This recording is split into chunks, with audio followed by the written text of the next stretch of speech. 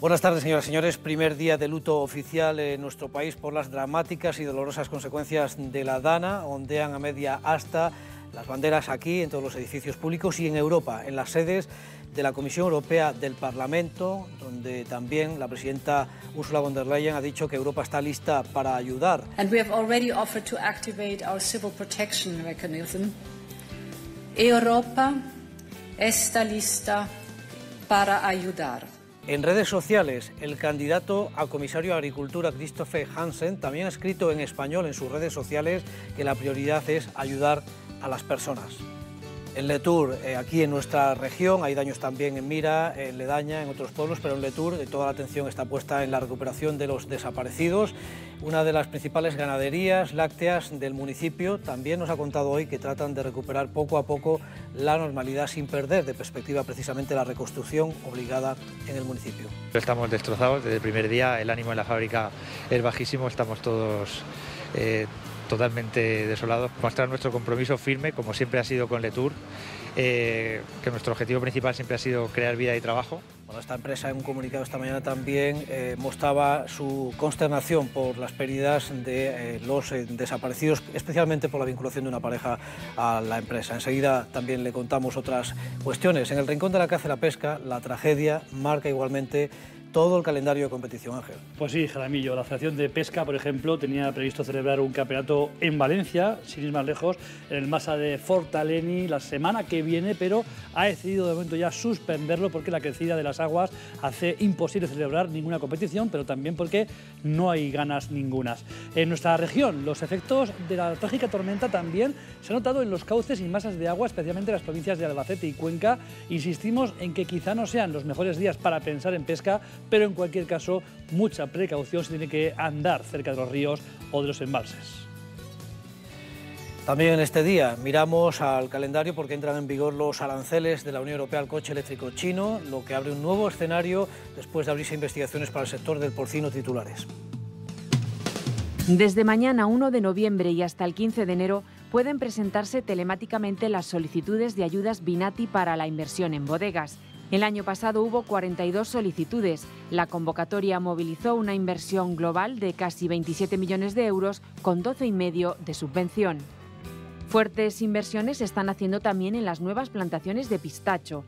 En un foro celebrado en Madridejos, agricultores, técnicos e investigadores han analizado la mejor forma de optimizar el cultivo, tanto desde el punto de vista agronómico como de mercados.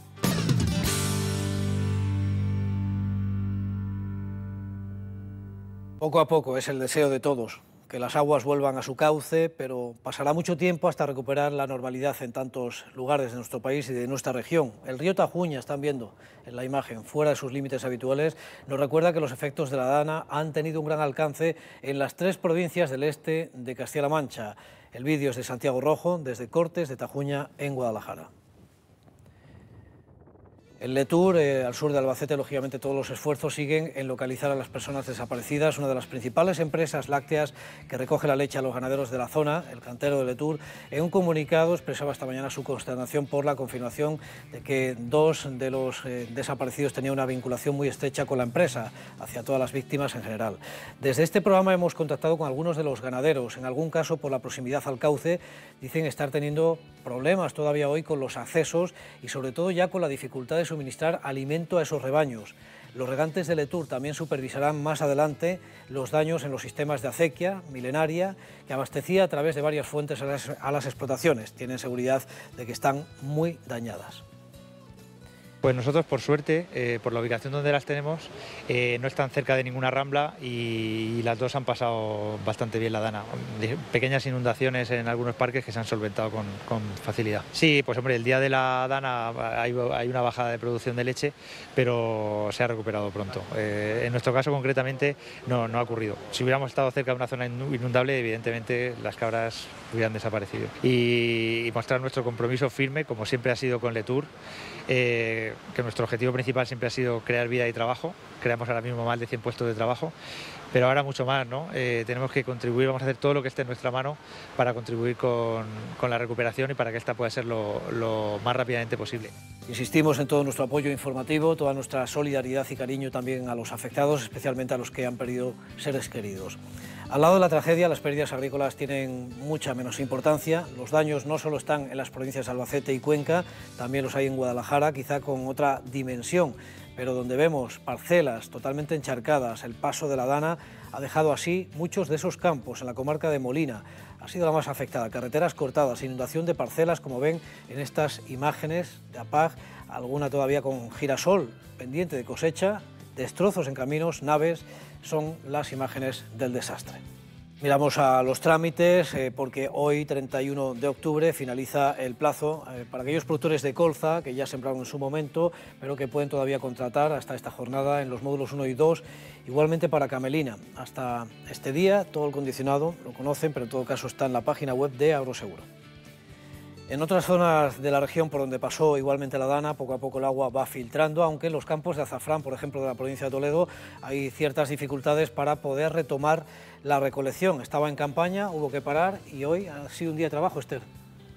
Las fuertes tormentas también han afectado a la recogida del azafrán que según nos cuentan los agricultores provocó que tuvieran un día de pérdida de recogida de este oro rojo de la Mancha. Según nos afirman en el mercado se está pagando esta especie tan apreciada a unos 3.000 euros el kilo, por lo que las pérdidas que puedan tener son muy importantes. Además, los agricultores temen que las lluvias vuelvan a caer y que afecte también al azafrán y esto pueda provocar más daños y más pérdidas a futuro.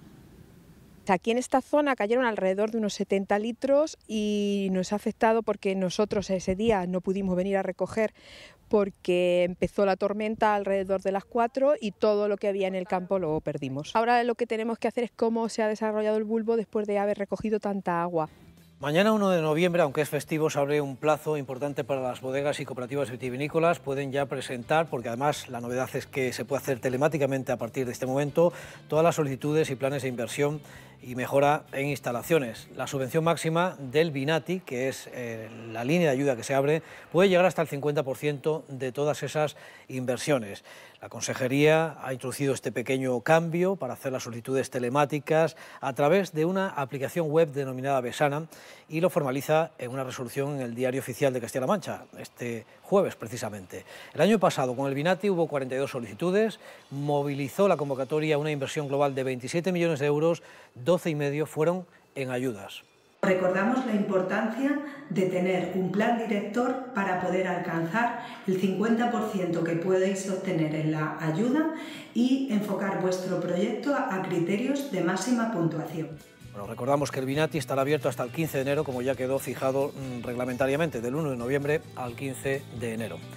En Madridejos, técnicos y profesionales del sector de los frutos secos han reunido eh, una nueva edición de lo que denominan Fórum Almendro Pistacho, de un grupo editorial precisamente que ha convocado este evento, donde han podido conocer los últimos avances en mejoras genéticas, en maquinaria agrícola, también específica para la recolección, técnicas de sanidad vegetal, fertilización y riego.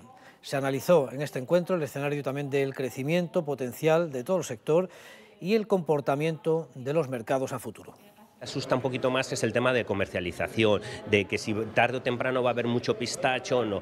Eh, la tendencia actual es que no, es que hay una demanda que sigue creciendo, creciendo. Y lo que tenemos que es hacernos un huequecito en el mercado y hacer que el pistacho castellano manchego, eh, sobre todo, aunque el español también, eh, sea por encima de calidad, un poquito por encima del mercado, creo que tenemos que bajar muchas veces un poco del tractor y dedicarnos más a la comercialización y a la tecnología. De la agricultura de precisión, teledetección y el uso de distintos sensores que nos puede permitir después monitorear el estado de nuestro cultivo. Tenemos que diferenciar muy bien lo que es efectivamente el pistacho de los cultivos más tradicionales como el viña y olivo.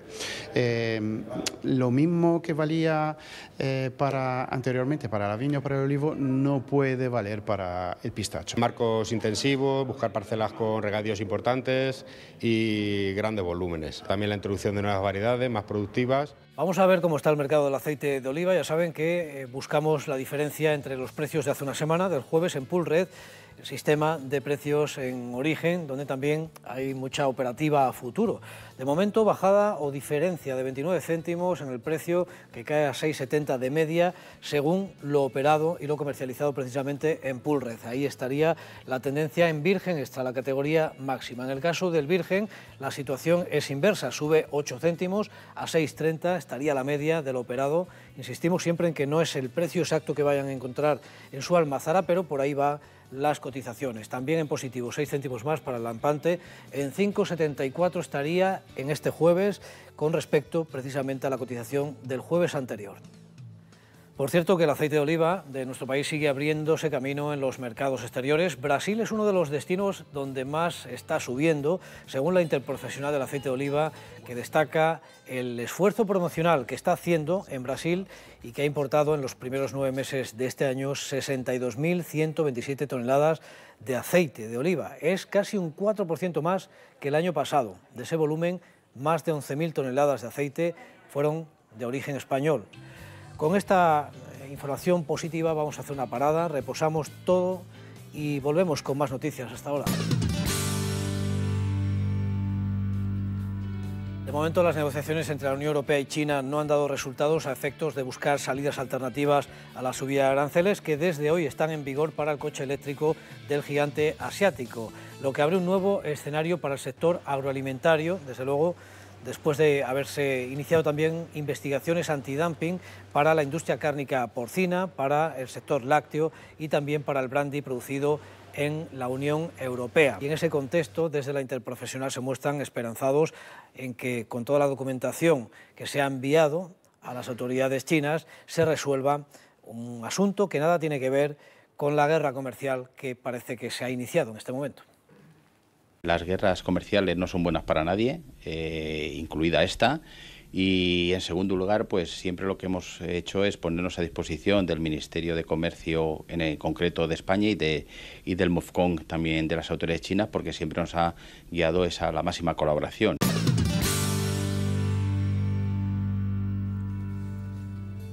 Vamos al rincón de la pesca hoy. Lo primero de todo, ese mensaje de responsabilidad y de precaución, especialmente para que la gente que trabaja o gestiona cotos intensivos, Ángel. Pues sí, Jaramillo, nadie como los pescadores sabe sin duda lo peligrosas que pueden ser las aguas cuando están tan revueltas. Algunos cotos de la región, como el de Alcozarejos, el Albacete, han puesto un lazo negro en sus redes sociales en solidaridad con las víctimas de una riada que se va a notar durante varios días en las distintas aguas de la región, especialmente en la zona este de la comunidad. Por ejemplo, este es el río que alimenta ese coto de Alcozarejos, pero en este caso todavía su paso por la provincia de Cuenca. Y miren cómo bajaba en este caso el Cabriel. Ojo con los ríos que se irán recargando con los afluentes, especialmente complicada es la situación en los tramos cercanos a la zona cero de la tragedia. Estas imágenes, por ejemplo, son del río Segura a su paso por el Gallego, en Elche de la Sierra, el coto de pesca más importante quizá de aquella zona de la región. Impresionante el caudal que llegó a tener. Y también el Tajo por Guadalajara baja muy revuelto. Este es el río Gallo, por ejemplo,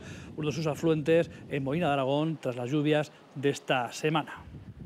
Mucho cuidado en las riberas de los ríos y también en los embalses que irán viendo cómo cambian las condiciones conforme vayan recibiendo aportes de aguas arriba. Los posibles desembalses también suponen un riesgo importante y, como no, una afección, una alteración del hábitat de los ciprínidos, aunque eso de momento es lo de menos. Muchísima precaución, la pesca puede esperar. De hecho, la Federación Española de Pesca, fíjense, que también ha colgado el lazo negro en su logo, ha decidido ya suspender el Campeonato de España de Agua Dulce Flotador, que estaba convocada la próxima semana en el envase de Fortaleni, en Valencia. Insistimos que la Federación ya ha suspendido o aplazado de momento este campeonato que se iba a disputar en aguas de la provincia valenciana.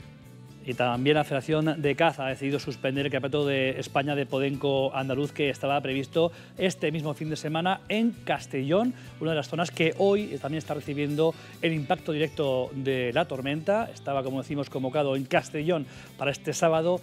Se aplaza, se suspende también por esta riada el campeonato de España de Podenco.